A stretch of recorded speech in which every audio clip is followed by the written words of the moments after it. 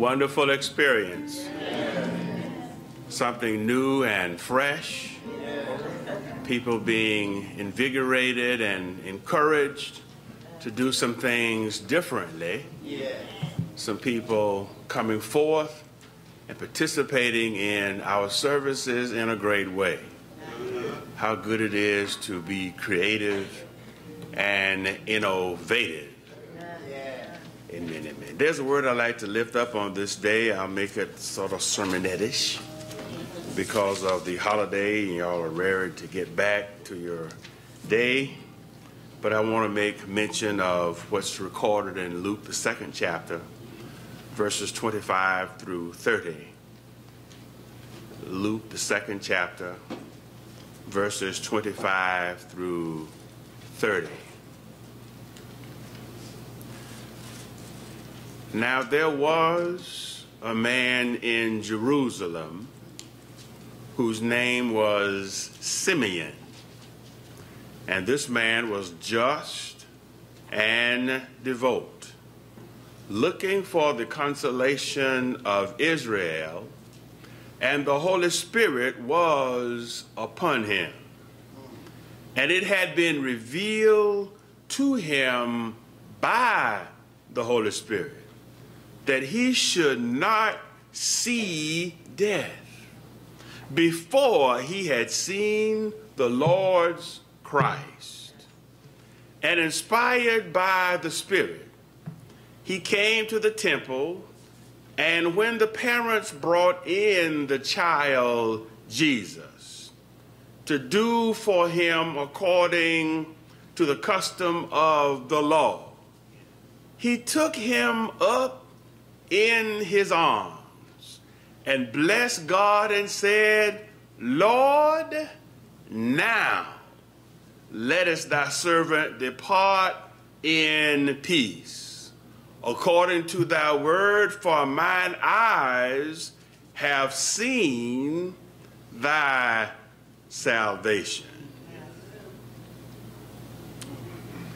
Simeon, you say you saw him, so I believe it. All right.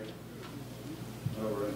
Simeon, you say you saw him, so I believe it.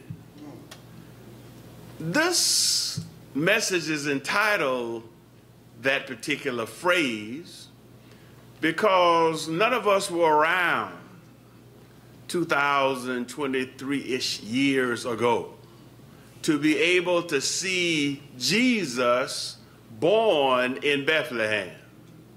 None of us were around to behold the babe born in a manger. None of us were around to see it, yet we have an eyewitness report from one who believed that it would be. Of all the people who looked forward for the coming of Christ, Simeon was the epitome of such a person.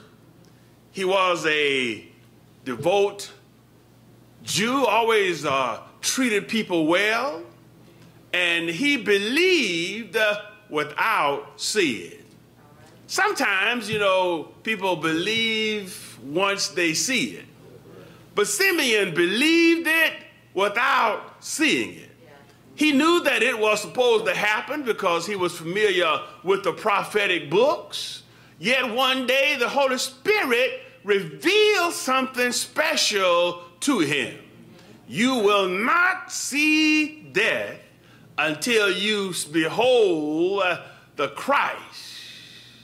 And he waited a while and waited with tiptoed anticipation, but he knew that he would see Christ because the Holy Spirit revealed that special uh, revelation uh, to him. And I would want to go on and say that even during this particular holiday season, the Spirit of the Lord can reveal some things to us before we see them come into reality.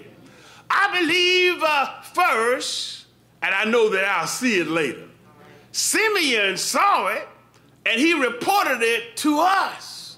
I wasn't around to see it, but because uh, the Lord has a way of making things come to pass. When the Lord says something will happen, though it doesn't happen immediately, it shall come to pass. So after many things, many days, many days of waiting, finally, finally, it came to pass. And Simeon went to the temple and he was going to worship on that particular day. You know, the folk were coming in uh, and registering Jesus because that was what they were supposed to do register new folk to, you know, the temple. And uh, while they came in, Simeon sort of looked around and he saw a couple walking in. And something about the couple just resonated in his mind. He knew something was special with them, but he didn't know what. And he noticed that they had a baby in their arms. And he remembered the promise that you will not see death until you see the Lord's Christ. So he went over and uh, I believe uh, he just sort of tapped Mary on the shoulder and said, Do you mind if I hold this child? And uh, when he held the child, he looked at him and something happened within because there was something special. There was something special emanating from this child. And, and Simeon remembered what the Holy Spirit told him, and he could feel it when he touched him. And then he said, You know what? I'm all right now. I see it. Uh, the Lord has fulfilled his word. Now I can depart in peace because mine eyes have beheld the Christ.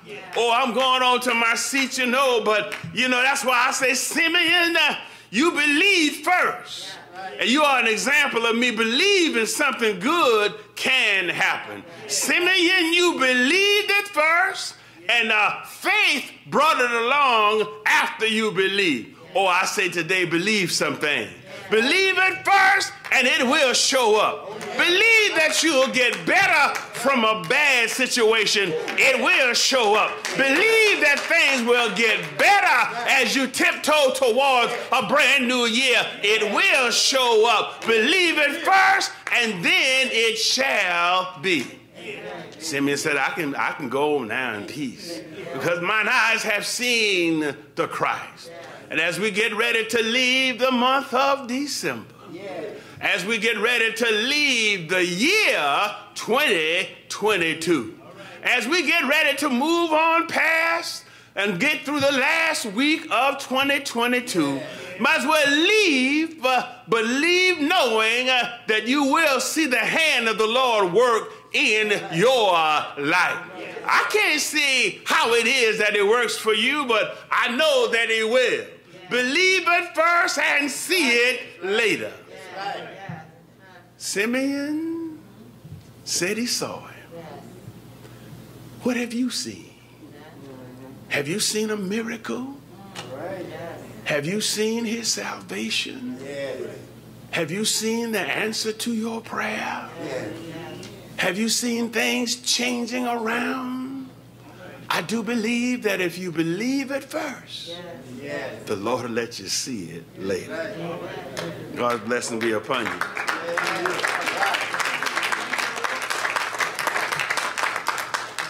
The door of the church is open. I know we don't have any visitors today, but sometimes we have people who come to church on a regular basis, but they never really seriously joined officially. So we invite you today to come and unite with this, the Greenview First Baptist Church, if that is your desire, on this Christmas Day 2022. The invitation is extended to you. Heavenly Father, we rejoice over the fact that you allowed your only begotten Son to enter into our humanity, walk in our experience for some 33 years. Lord, we ask your blessings be upon us as we remember his entrance. Let it be that it makes a difference for us even now. Let it be that we're able to believe some things concerning your promises believe some things concerning what you have revealed unto us. Oh, yeah. And like Simeon, we look with tiptoed anticipation, Amen. knowing that when the time is right, those things shall come to pass. Yeah. We shall forever rejoice. Cause us, Lord, to be able to deal with our different emotions. Yes. Sometimes we're up on this day, sometimes we're challenged. Certain hours we're all right, the next 30 minutes we might not be. But Lord, we just ask that you cause us to focus on the fact that you loved us so and you gave us a right to the tree of life by sending your son into the world to die for us that he can redeem us and give us new hope, new life, new joy. Therefore we rejoice.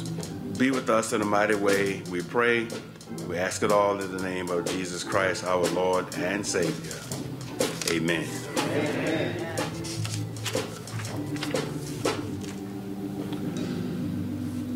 And now may the grace of God and the sweet communion of the Holy Spirit rest, rule, and abide with us henceforth now and forevermore. Amen, and amen. Merry Christmas to you. Mele Kalikimaka.